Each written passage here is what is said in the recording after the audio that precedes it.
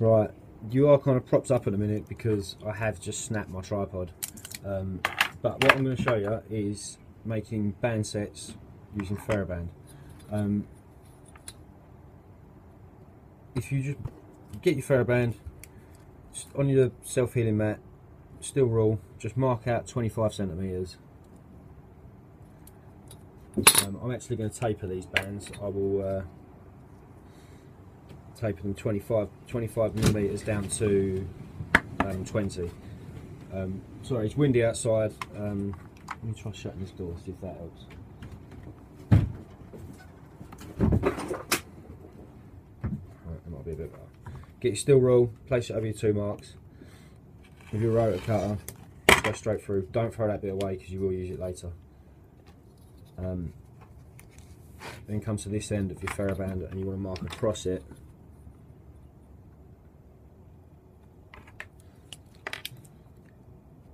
Twenty-five mil, twenty mil, twenty-five mil, 20, 25 and then just push it up do the same at the other end but start at 20 instead of 25 20 mil 25 holy shit this is windy.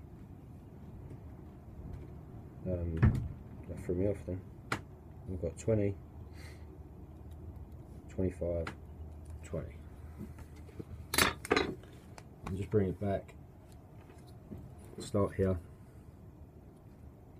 Steel rule. Rotor cutter straight across. Hopefully you'll cut through in one. This is a bit of a blunt cutter. Um, obviously the more times you try to cut through the less it is. Another bit to keep and um, the less good it is like it's not as good can tear the bands Right, and that, if it's cut through in one, which it hasn't, I do need to get a new blade for my cutter.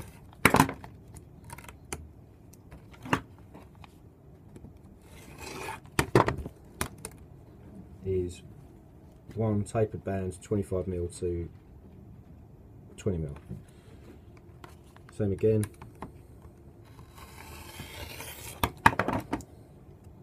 Another one. That's a full set.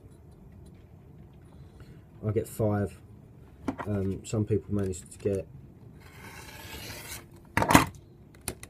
six. I don't know how, um, unless they're using a smaller taper, 20 mil to 15 maybe.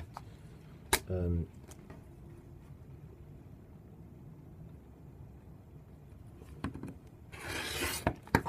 yeah, that's how I do mine. Um, again, again, not the greatest at the minute.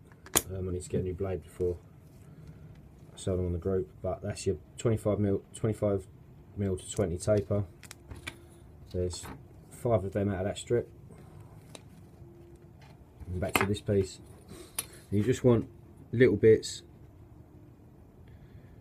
Sort of three to five mil. Just cut them. That's what you use for your bindings with your TheraBand um, to attach it to your catapult.